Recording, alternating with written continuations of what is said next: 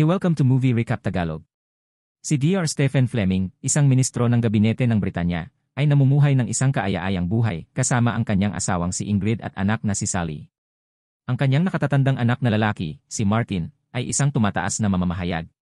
Sa isang party, nakilala ni Stephen ang isang batang kalahating Pranses na babae na nagngangalang Anna Barton na nagpapakilala sa sarili bilang isang malapit na kaibigan ni Martin.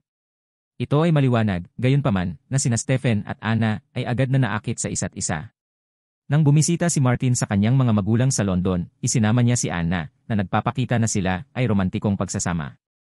Ang init na nag-igting sa pagitan ni na Stephen at Anna ay malinaw, kahit na ang kanilang mga kasama ay di pinansin ito. Sa kabila ng relasyon nila ni Martin, nakilala siya ni Anna Stephen sa kanyang opisina, at inayos nilang magkita ng isang oras sa kanyang apartment. Sa pag-aapoy ng kanilang katawan ibinigay ni Anna ang kanyang sarili, at tinakpan ni Stephen ang kanyang katawan gamit ang kanyang katawan. Nakipagpulong si Martin sa kanyang ama, si Stephen, upang ipaalam sa kanya ang kanyang promosyon sa trabaho. Ang buong pamilya ay nagsasama-sama upang ipagdiwang ang promosyon ni Martin. Nalaman namin na si Anna ay may kapatid na nagpakamatay dahil sa pag-ibig. Pagkatapos, hinintay ni Stephen na umalis ang kanyang anak, si Martin, at pumasok sa apartment ni Anna. Masigasig silang naglalaro sa buong lugar, mula sa study, hanggang sa sala, at hanggang sa kama. Ipinaliwanag ni Anna kay Stephen na gusto ng kanyang kapatid na lalaki ang lahat para sa kanyang sarili, kaya pinatay niya ang sarili niya. Lalong lumalim ang pagkahumaling ni Stephen kay Anna. Pagkatapos ng international na summit at Journs sa Brussels, naglalakbay siya sa Paris upang makipagkita sa kanya sa halip na umuwi. Habang si Martin ay natutulog sa isang Paris hotel room, sina Stephen at Anna ay malapit sa isang bukas na pintuan sa sikat ng araw. Pagkatapos, nag-check-in si Stephen sa isang hotel sa kabilang kalye mula sa Anna at Martins na nag-espiya sa mag-asawa sa pamamagitan ng kanyang bintana. Sa kalaunan, ang kanyang infatuation ay umabot sa isang punto kung saan nais niyang makasama si Anna ng tuluyan, kahit na sa panganib na sirain ang kanyang relasyon sa kanyang anak.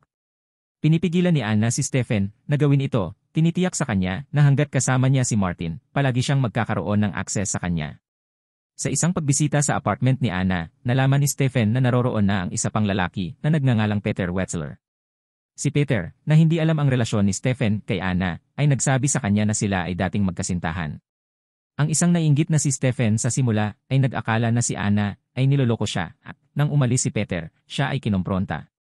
Tinanggihan ni Anna ang pagpapatuloy kay Peter at pagkatapos ay inilarawan ng detalyado ang pagkamatay ng kanyang kapatid na nagpakamatay pagkatapos magpahayag ng isang incest na pagnanasa para sa kanya.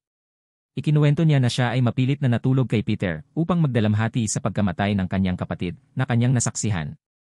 Natahimik si Stephen sa paliwanag na ito at muling naglabas ng init ang dalawa.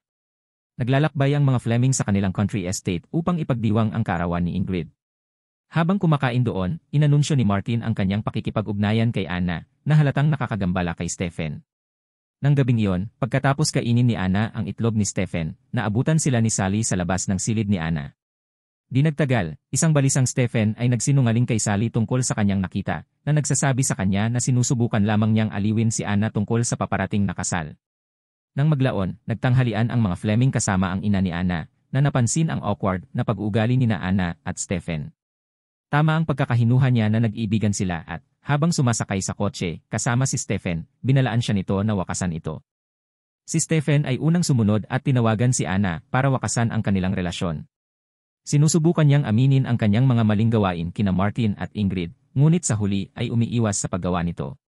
Gayunpaman, pagkatapos sumuko si Stephen sa tukso at hindi nagpapakilalang tumawag sa apartment ni Anna, ipinadala niya sa kanya ang mga susi sa isang inayos na flat kung saan sila magkikita. Nang bumisita si Anna sa kanyang tahanan, sinabi niya kay Stephen na hindi niya maaaring pakasalan si Martin nang hindi ito kasama. Pumunta sila sa flat sa isang takdang oras at nagsimula ng isa pang masungit na pagsubok, ngunit si Martin, nang hindi sinasadyang magabayan sa flat, natagpuan silang magkasama sa kama. Natigilan, nahulog siya sa isang rehas ng hagdanan at bumulusok sa kanyang kamatayan. Isang wasak na si Stephen ang yumakap sa katawan ni Martin, habang si Anna ay tahimik na umalis sa eksena.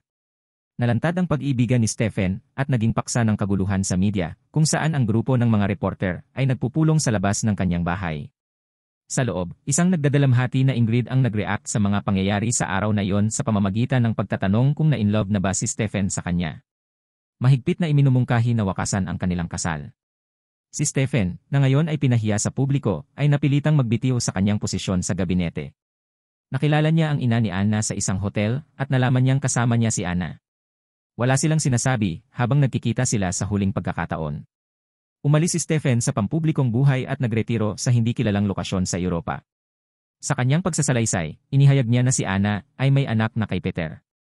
Sa kanyang flat, nakasabit sa dingding ang larawan niya kasama sina Anna at Martin, nasabog hanggang sa laki ng buhay.